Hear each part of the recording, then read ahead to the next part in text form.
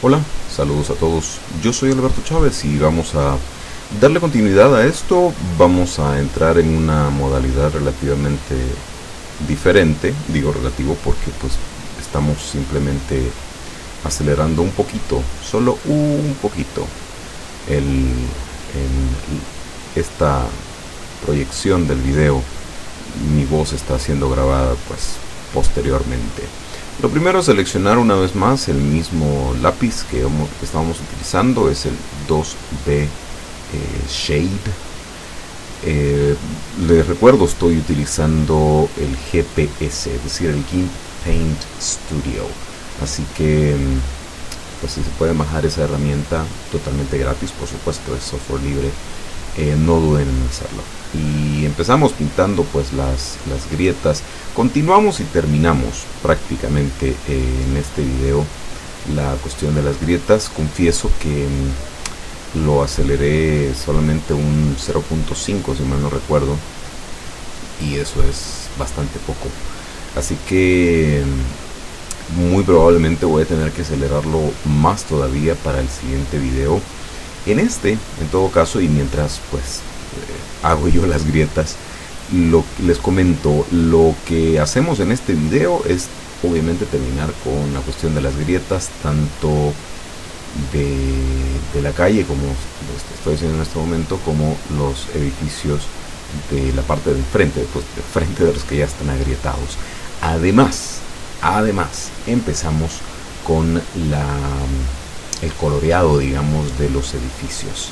Así que eh, vamos a, ir progresando. Ustedes se van a dar cuenta, pues lo único que yo voy haciendo acá es cambiar el tamaño de la brocha, más no así eh, el, tipo de brocha. Es el 2B Pencil Shade. Eh, repito, esto es GPS, GIMP Paint Studio. Em, quiero agradecer muy sinceramente a las personas que me han colaborado con la, con la encuesta que yo realicé a través del video anterior. Em, la gran mayoría, entiéndase unas 7 personas, 8 personas, muchas gracias, repito, me dijeron de que pues lo más adecuado era eh, acelerarlo un poco. Obviamente lo voy a hacer más, lo prometo. acelerarlo un poco y puedes hacer la voz eh, posteriormente, ¿no? nada más describiendo lo que voy, lo que voy haciendo. Em, las eh, por cierto, que una, una de las personas me, escribía al, correo electrónico y me decía, pues a través de otros medios se me puede contactar. a través de Facebook sí, si se puede. Eh, pues mi cuenta es mi nombre, Alberto Chávez. No, no van a encontrar una fotografía mía, lo siento.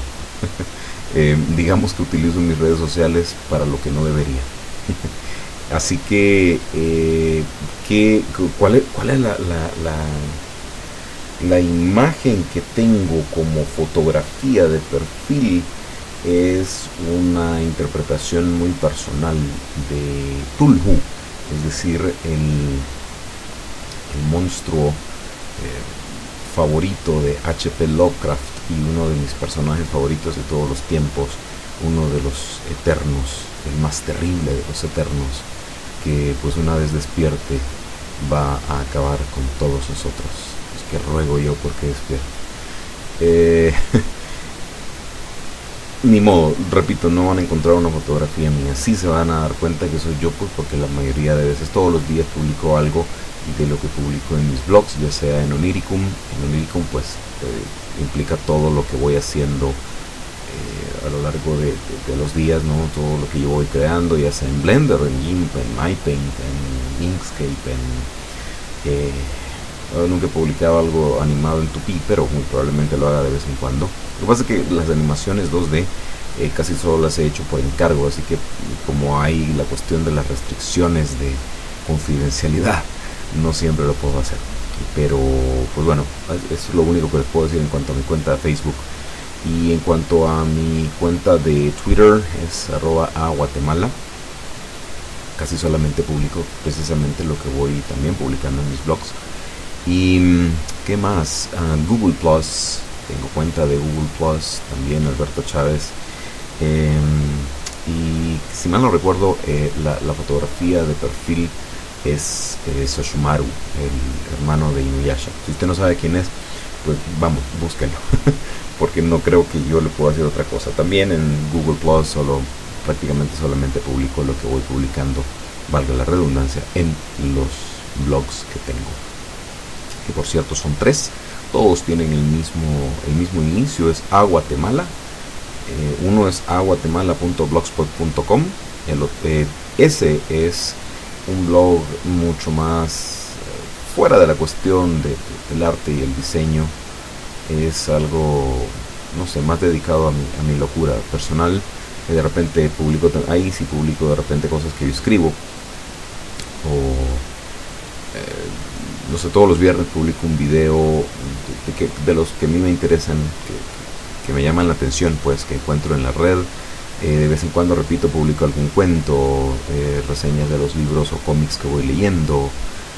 En fin, eso es aguatemala.blogspot.com. El otro es aguatemala 2, 2 eh, en, números, es decir, el número 2.blogspot.com, que es donde voy colgando estos videos, además de los archivos originales del software original, entiéndase .blend para Blender .xcf para GIMP, .svg para Inkscape, .ora para MyPaint, etcétera, etcétera, etcétera.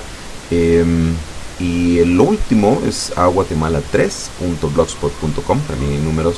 como le repito, pues ahí voy colgando mis, mis creaciones eh, diarias prácticamente, todo lo que voy creando de forma diaria, ya sea, eh, que le digo, en Blender, en Inkscape, en GIMP, MyPaint, eh, fotografía, eh, dibujo manual. Ahí voy colgando también las hojas de un cómic que estoy dibujando de forma, digamos, no tan regular, pero sí eh, periódica, digamos. he recién terminado el primer capítulo y confieso que por más haraganería que otra cosa no le he puesto los, los diálogos. Eh, pero en cuanto le ponga los diálogos, pues he de ver cómo lo, cómo lo publico. He ahí un historial, eh, grosso modo, de, de qué hago yo en mis blogs, qué tan seguido lo publico. El que, en el que publico todos los días, en Onírico, en el aguatemala3.blogspot.com. El Aguatemala 2 es diseño libre eh, donde voy colgando estos videos, como les repito, y el agua Guatemala es, eh, el nombre del blog es Alberto o la soportable pesadez del ser. Eh, y nada, ah, otra cosa que cuelgo ahí en el, en el personal, en el Alberto o la soportable pesadez del ser, son podcasts que hago de una vez al mes. Hablo de cualquier estupidez que se me ocurre. así que pues si usted se quiere arriesgar a escucharme hablando de cualquier estupidez, advertidos estáis, es ustedes entran y escuchen bajo su propia responsabilidad. Eh, a partir de este, de este video vamos también a, a, trabajar un poquito más en serio con la cuestión de las capas. Sobre todo porque esta en la que estoy trabajando en estos momentos, el de las grietas, está en modalidad normal. Si usted se fija en la parte superior derecha, eh, debajo de los iconos que representan las pestañas, estamos en la pestaña de capas y debajo de eso está algo que dice modo. Eh, está en normal. Muy probablemente en el próximo video yo le cambie la modalidad de las grietas a solapar. Eh, solo para ver cómo se ve. En realidad no, no, en este en particular no lo he intentado, así que pues muy probablemente lo, lo intente solo para para, eh, para ver cómo, cómo, cómo, se desenvuelve digamos eh, cómo se ven las grietas en modo solapar. Sin embargo repito en la cuestión del color de los edificios sí ya nos ocupamos directamente en, en las capas en modo solapar verdad Dese cuenta de algo más, la opacidad del pincel del 2B Pencil Shade está en 10%, así que tengan muy en cuenta porque mm, eh, de repente, al, menos a mí es lo que más me ha funcionado, puede hacer que a usted le funcione eh, algo un poco más opaco. Repito, estamos hablando de la opacidad del pincel o de la brocha, no estamos hablando de la opacidad de la capa. Eh, más adelante vamos a ver que uno de los edificios, uno que empiezo pintando de amarillo, le bajo la opacidad simplemente por para que usted vea ¿no? cómo, cómo se cómo se ve un edificio o pues un color determinado en modalidad solapar y además con eh, menos opacidad, con, más transparencia, vamos. Eso es lo que, lo que quería yo decir, un poco más de transparencia. Eh, me decido acá hacer una, una grieta más, de hecho es un agujero con grietas a su alrededor en, en el suelo, en la calle en el próximo video supongo también le voy a dar un color un tanto más oscuro a la calle y voy a tratar de, hacer los, eh, las líneas de, cortadas que tienen las calles. Estoy seguro, posiblemente dibuje, no modele en Blender, sino que dibuje también un automóvil eh, chocado y despedazado y abandonado y etcétera. Eh, pero eso todavía está como por definirse dentro de mi cabeza.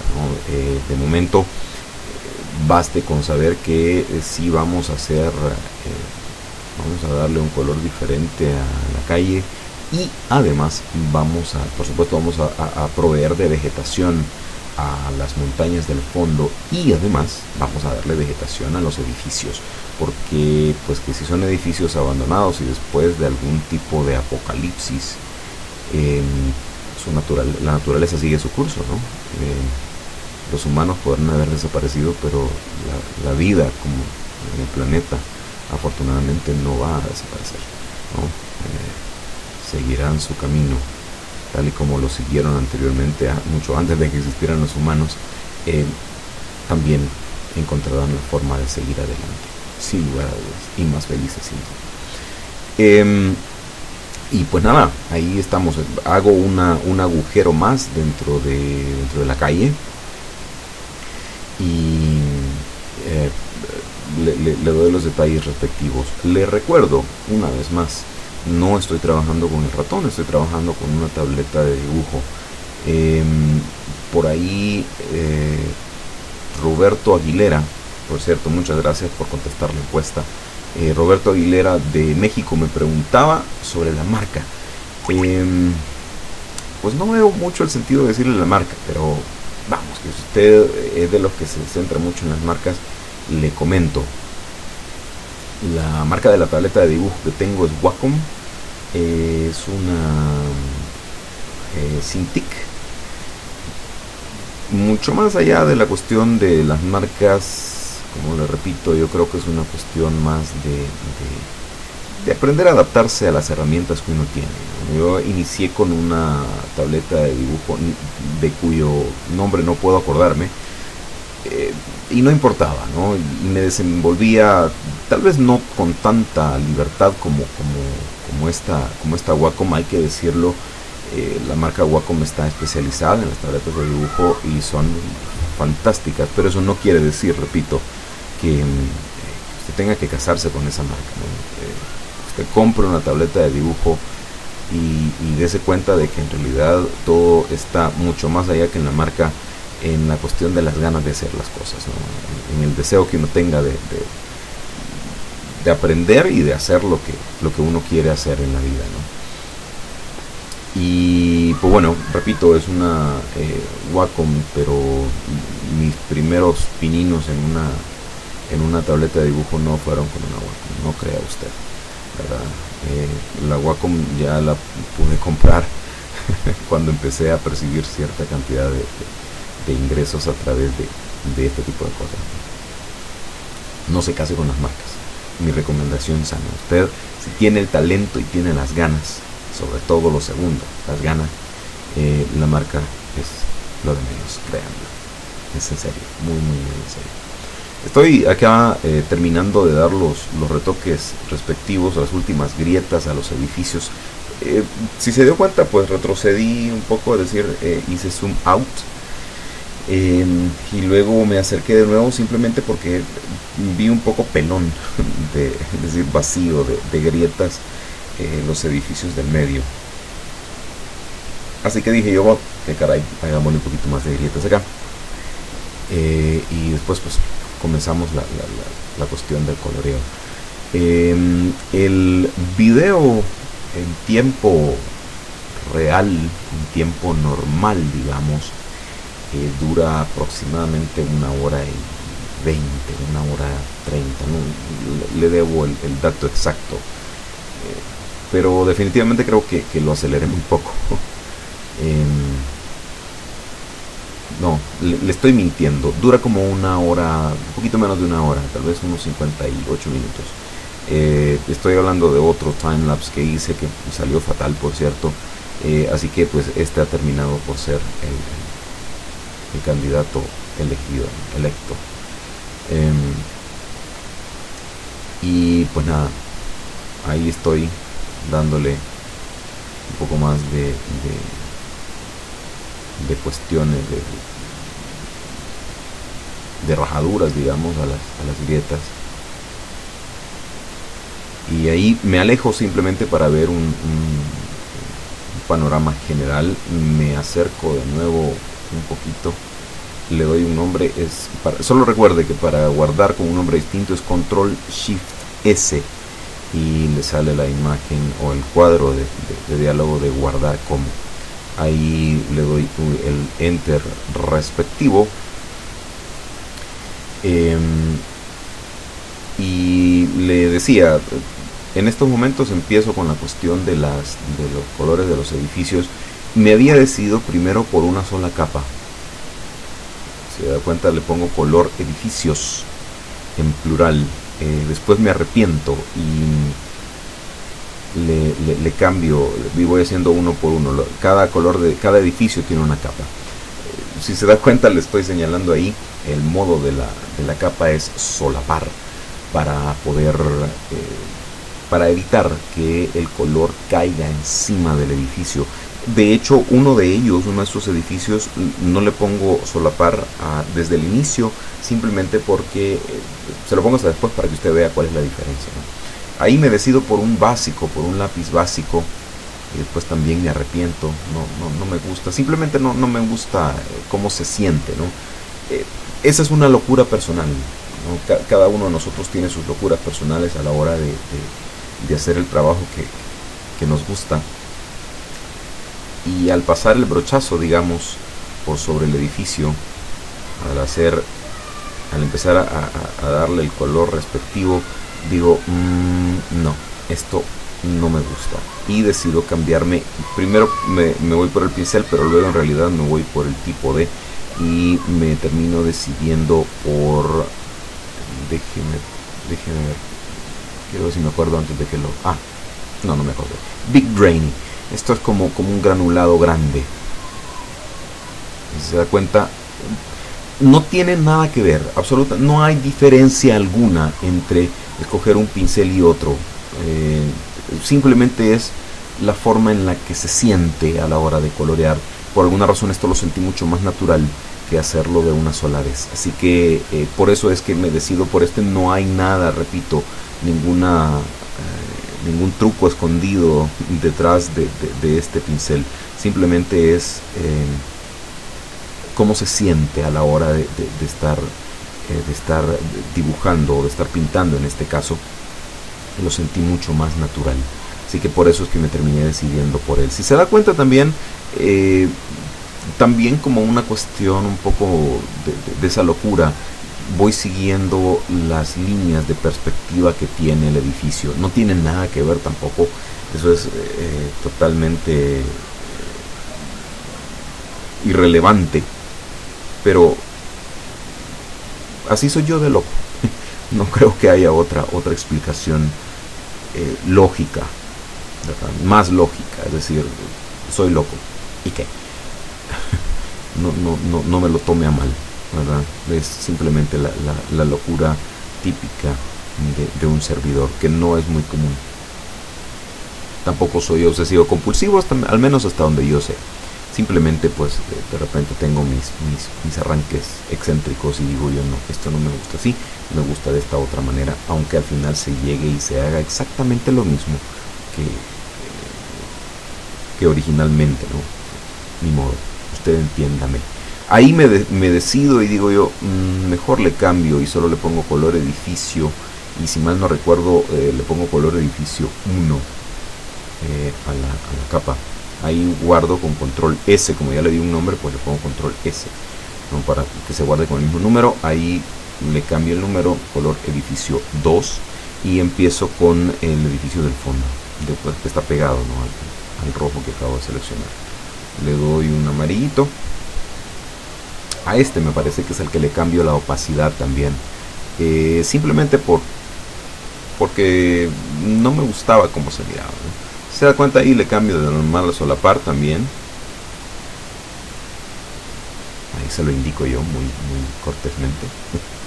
Y empiezo a hacer el coloreado. Sin embargo me da la impresión de que es un amarillo demasiado fuerte. Eh, por alguna razón que, no logro recordar le doy un brochazo ahí al, edificio rojo eh,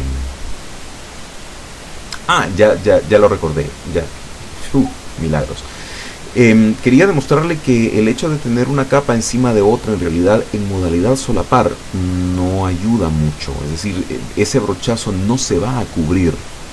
¿ya? Vea, ahí hago el cambio de arriba hacia abajo y el brochazo permanece ahí. Precisamente porque estoy solapando eh, un color sobre otro. Estoy poniendo un color sobre otro. Eh, y el modo solapar no, no permite eh, que, se, que se cubra del todo el color que está en el fondo. De hecho, por eso es ahí estriba la ventaja, digamos, de esta modalidad. Una vez termino, digamos, la, parte tosca del pintado del edificio, y se da cuenta y le bajo la opacidad. Se la bajo bastante, a decir verdad. Se la dejo, me parece que ahí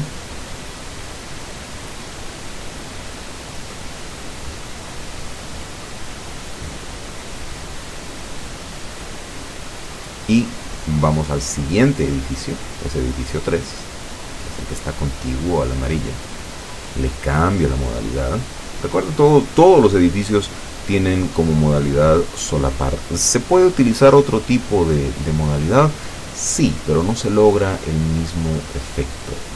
Em, si lo recuerdo, le prometo que en el próximo video voy a, voy a cambiarle alguno de los, de los colores eh, perdón, alguno de, de las modalidades, de las capas, una de ellas le voy a cambiar la modalidad, tal vez a multiplicar, solo para que vea pues cómo, cómo, se, cómo se ve de distinto una vez que se selecciona la, eh, una modalidad diferente, un modo diferente de capa.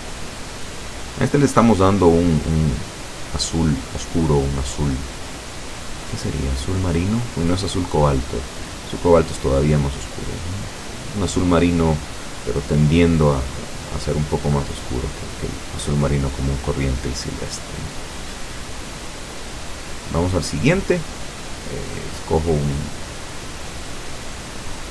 color, pues eh, a nivel de pintura al óleo se le llama ocres o tierra tostada. Eh, cambio, hago una nueva capa y por supuesto y una vez más le ponemos solapar ahí se me pierde solapar por un momento y pues que lo vuelvo a encontrar. Menos mal.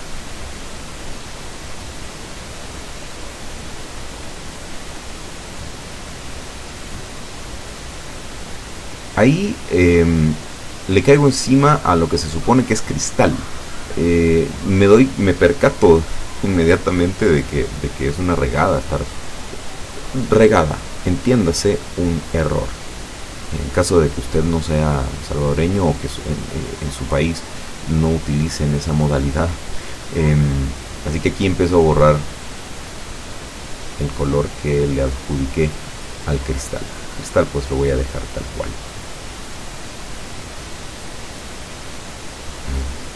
Y si se da cuenta, bueno, esta es otra de las ventajas de trabajar en capas. Yo puedo caer eh, con el borrador encima del edificio que está a la par y no va a afectar el color, precisamente porque solo estoy trabajando en una eh, estoy trabajando en una capa separada, en una capa aparte, ¿no? Entonces e, eso evita que mi, mi, borrador borre, obvio, em, fuera de la capa que le corresponde, ¿sí?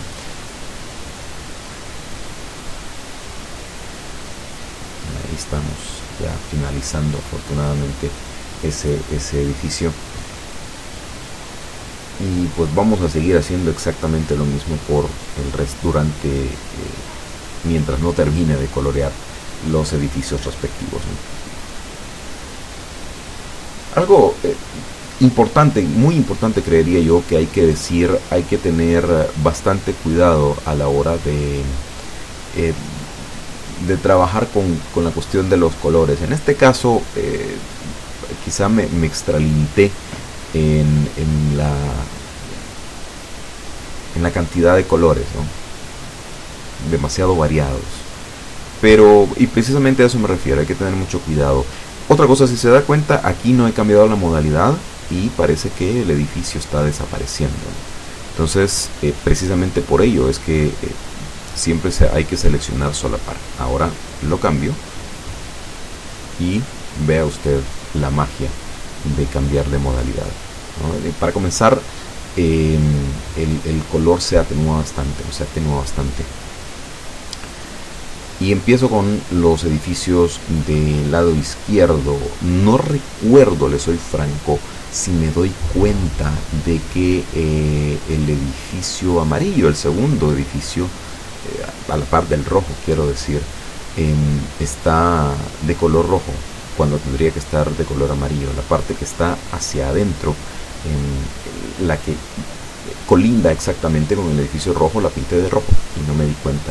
Realmente no, no estoy muy seguro si me di cuenta más adelante o no. Pero pues que de momento nada más se lo hago ver para que no diga después, ah, qué pasmado este muchacho, no se dio cuenta. De hecho, no me di cuenta en el momento, no sé si me di cuenta después. Pero de que me doy cuenta, al menos en este momento que estoy grabando la voz, crean, me doy cuenta. Y me doy cuenta de cuán tonto fui. Pero, hombre, ustedes entienden. Estaba yo emocionado dándole color a mis edificios. Si se da cuenta también, más adelante eh, me dedico a, darle un poquitito más de, de, fineza al pintado de los edificios que tiene usted ahí porque sobre todo el edificio amarillo, si se da cuenta, pues como que eh, se mira bastante tosco el, pintado. Así que me preocupo de ello más tardecito. De repente también, em, y, eso, y eso sí me di cuenta hasta que había finalizado, si usted se da cuenta, al centro hay un brochazo de color ocre que no, que no lo vi, que no lo vi. Así que pues nada, que, de que me deshago de él, me deshago de él, pero creo que va a ser hasta, hasta en, el siguiente video. Se lo voy a dejar ahí solo porque, vamos, para que vea que, que soy legal. en todo caso, eh, seguimos pintando, seguimos avanzando en esta cuestión. Eh, le decía yo, hay que tener mucho cuidado con la cuestión de, de los colores, ¿no? Es importantísimo tener en cuenta que eh, no es del todo conveniente tener colores tan fuertes. No, a ver, tal vez no tener colores tan fuertes, sino tan disparejos, eh, unos pegados de otros. En la vida real de repente puede ser así, pero también puede resultar de repente un tanto, ¿qué le digo? Poco placentero a la vista el estar eh, el, tener este tipo de, combinaciones tan fuerte. Otro al que no le pongo modalidad eh, solapar simplemente porque, porque así empecé y porque quise terminar de esa forma. Y como estamos trabajando en una capa separada, pues afortunadamente la capa del fondo no sufre ningún, ningún problema, ningún cambio. Se da cuenta como nada, llevamos prácticamente 30 minutos de, de andar el camino. Y pues me doy cuenta de que necesito acelerar más estos, estos videos porque pues no es lo suficiente, un 0.5 definitivamente no se nota, eh, no al menos con la soltura que yo quisiese que se notara.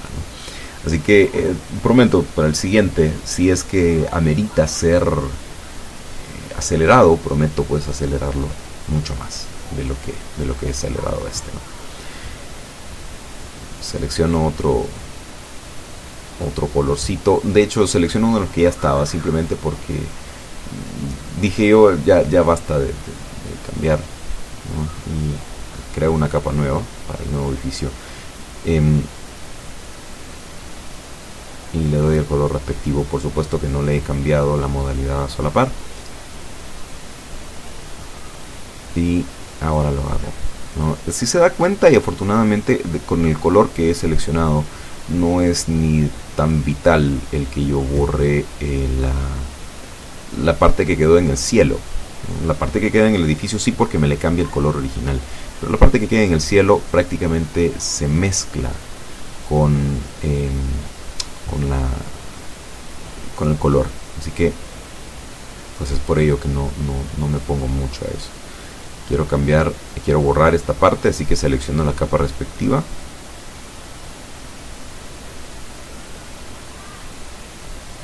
y continúo. Increíblemente, 32 minutos, aunque usted no lo crea. Eh, y sí, lo siento. Lo voy a acelerar más, despreocúpese de ello. Em, continúo con los colores respectivos. Volviendo a la cuestión de la, de la mezcolanza de colores, hay que tener mucho cuidado. Procuremos que no sean tan bruscos los cambios de colores.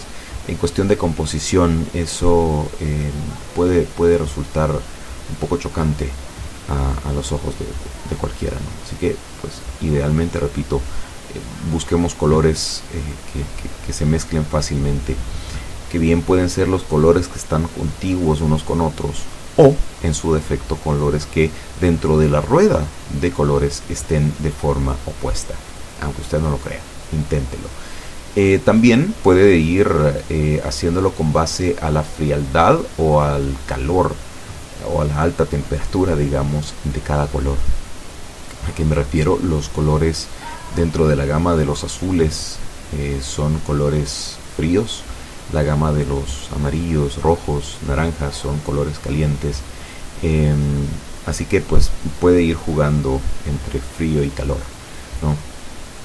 Voy buscando poco a poco ahora los, los edificios respectivos y voy borrando si se da cuenta pues la parte que, que, me ha quedado como que demasiado tosca demasiado demasiado mal pintada vamos. Para darle por supuesto el, color respectivo. Acá voy a la herramienta de gotero para seleccionar el color adecuado. Recuerde que debe estar en la capa en la capa respectiva en la capa que le corresponde. En este caso pues al edificio amarillo. Porque si se encuentra en otra capa no va a lograr ni siquiera seleccionar el color ¿sí? y le doy el color respectivo